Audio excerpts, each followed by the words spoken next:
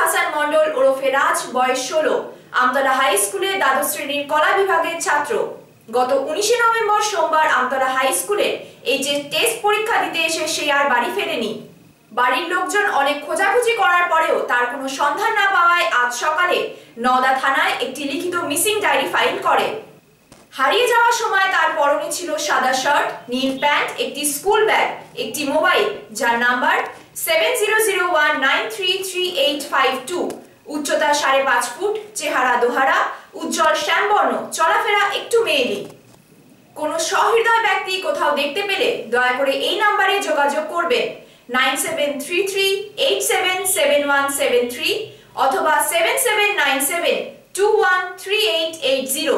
পিতা ফারুক মণ্ডল, নওদা মুর্শিদাবাদ। নিখোঁজ সংবাদ। নুরুল হাসান মণ্ডল ওরফে রাজ, বয়স ষোলো। আমতলা হাই স্কুলে দ্বাদশ শ্রেণির কলা বিভাগের ছাত্র। গত উনিশে নভেম্বর সোমবার আমতলা হাই স্কুলে এই যে টেস্ট পরীক্ষা দিতে এসে সে আর বাড়ি ফেরেনি।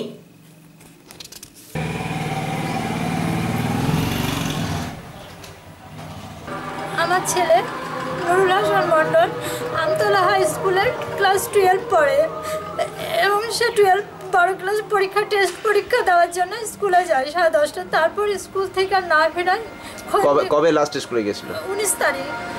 উনিশ তারিখ টেস্ট পরীক্ষায় তারপর আর বাড়ি ফেরেনি। তারপর আত্মীয় স্বজন সব জায়গায় খোঁজাখুঁজির পরে এখনও কোনো রকম সন্ধান মেলেনি। তাই আমি আমাদের নদা নোকাল থানায় একটা ডায়েরি করি। এখনও অবধি তার কোনো রকম হদিশ মেলেনি। তাই যদি কেউ আমার এই সন্তানকে দেখে থাকেন বা পেয়ে থাকেন তাহলে মেনলি নাম্বার দেওয়া আছে। এই নাম্বারে একটু যোগাযোগ করবেন। কি নাম আপনার ছেলে বললেন? আমার ছেলে নুরুল হাসান মণ্ডল ষোলো বছর বয়স ষোলো।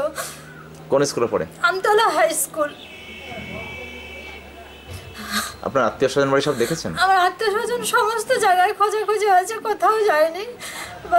আত্মীয় স্বজন সবাই আমার বাড়িতে এখানে সেখানে কেউ নেই। আমার মনে হচ্ছে কেউ বা কারা আমার ছেলেকে কিডন্যাপ করে মানে বা পর্বত আটকে রেখেছে। না হলে আমি এখনও তার কোনো সন্ধান পাচ্ছি না কেন? নওদা থানার পুলিশ কি বললেন? নজর পুলিশ বলছে ইনভেস্টিগেশন শুরু হয়েছে দেখছি।